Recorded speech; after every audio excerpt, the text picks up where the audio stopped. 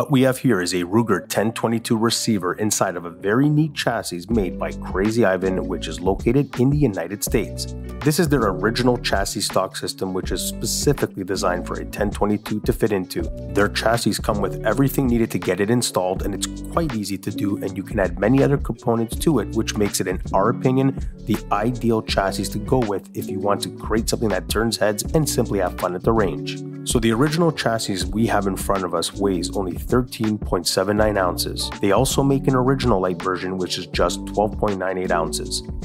The upper and lower chassis is CNC machined from a single billet of military grade 6061 T6 hardened aluminum alloy and then finished with a mil spec anodized hardcoat which feels really nice in the hand. No complaints here.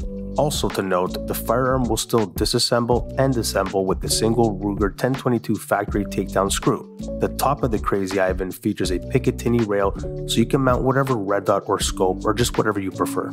Any standard AR compatible free float handguard can be used on the chassis and allows for a buffer tube and any type of buttstock which now gives you many more options for customizations and as you can see here there is a Magpul MOE stock installed to it. So you might be wondering, why is there a Remington magazine attached to this rifle? Well, this right here is a Spectre Ballistics 1022 magazine adapter which allows you to run Remington magazines. Also to note, you are not confined to only 10 rounds. And we must say, it looks really nice with the curved longer mags and we think it just adds and complements the chassis so well.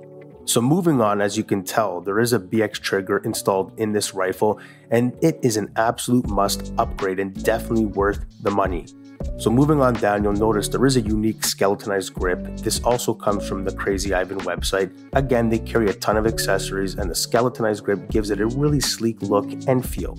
So moving on to the front of the rifle, you'll notice that there is a 12 inch carbon fiber barrel installed Definitely a great addition and allows you to thread on any muzzle device if you so please. The free float handguard is from True North Arms here in Canada. They carry a ton of accessories that are very well made and affordable. So all in all, this is a super short package that is within regulation. Here in Canada, so long as the overall length is a minimum of 26 inches, you are good to go.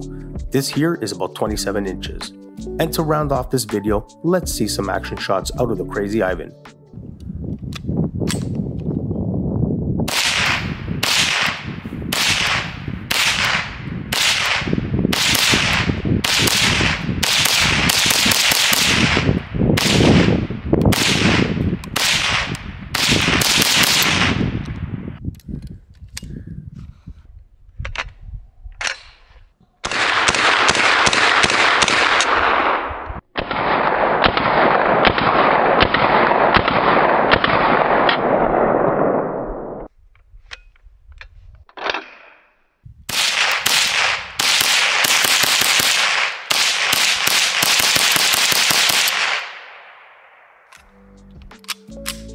And as always, if you're not already subscribed to the channel, make sure you subscribe, hit that alert button, you'll be notified when we release new and exciting content.